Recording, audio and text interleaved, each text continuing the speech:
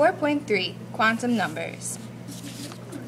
The Heisenberg uncertainty principle states it is impossible to know the exact speed and location of an electron, so we narrow it down by using quantum numbers.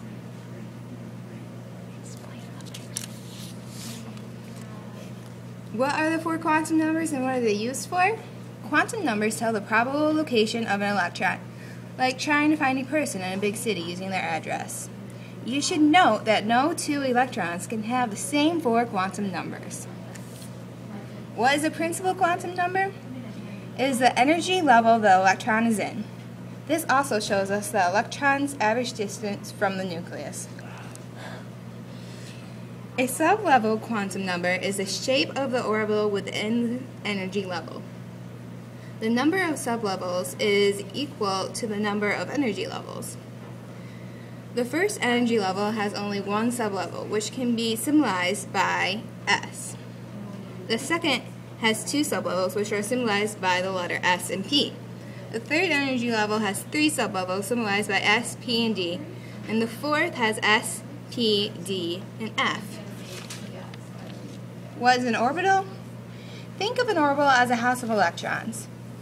There are two electrons per house, maximum.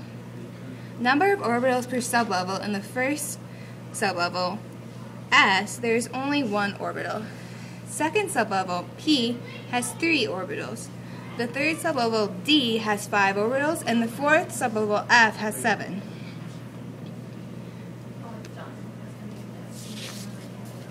When two electrons occupy the same orbital, they can't go in the same direction. This is the Pauli exclusion principle, where two electrons in the same orbital must have opposite spins. What's the difference between two electrons in different energy levels? Well, one electron would have more energy than the other, and one electron would be further away from the nucleus than the other. What is different between two electrons in different sublevels? Well, the shape of a sublevel would be different. As to S and P, the sphere versus the peanut. Also, one would have more energy than the other, as S is in the first sublevel than D, which is in the third.